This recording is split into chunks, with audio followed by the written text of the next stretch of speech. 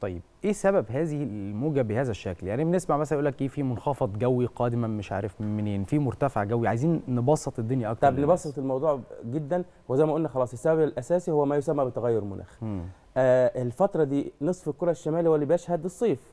الشمس عمودية على مدار السرطان تحت أسوان من بعد 21 يونيو.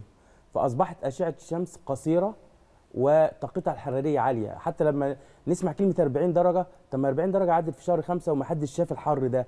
كان 40 درجة برضه كان 39 إيه الفرق ما بين 40 في شهر مايو و40 بعد 21 يونيو أو في شهر أبيب؟ بالمناسبة إحنا في شهر أبيب النهارده تقريبا 15 أبيب يعني نص شهر أبيب. والمزارع عارف يعني يعني إيه شهر أبيب؟ أحر شهر في السنة. وينتهي إن شاء الله يوم 7 أغسطس. آه اللي بيحدث الآن إن في مرتفع آه كبير فوق البحر المتوسط ده عمل حاجة زي اسمها القبة الحرارية.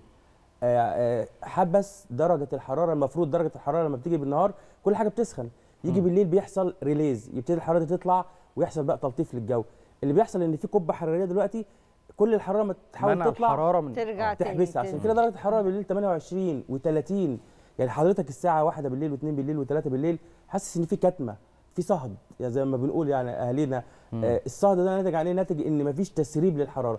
فتيجي شمس تاني يوم تزود التراكم بتاع الحرارة. ما يلحقش بالليل يطلع أو ينبعث ويجوا هكذا لغاية ما سببت هذه الحالة من الصهد الكبير.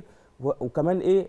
جاي معاه رطوبة نسبية عالية. طبعا طبيعة الحرارة العالية لازم يكون فيه رطوبة نسبية عالية فزودت الإحساس جدا بدرجات الحرارة واحيانا بتؤدي لما يسمى بالإجهاد الحراري ودي مشكلة كبيرة لكل المواطنين والمزارعين. لو في وقت بقى نتكلم على موضوع الإجهاد الحراري مهم جدا إزاي أقدر أقي نفسي من موضوع الإجهاد الحراري لأن أسبابه موجودة حرارة عالية ورطوبة عالية. يتبقى بس أنا بقى رد فعلي إيه؟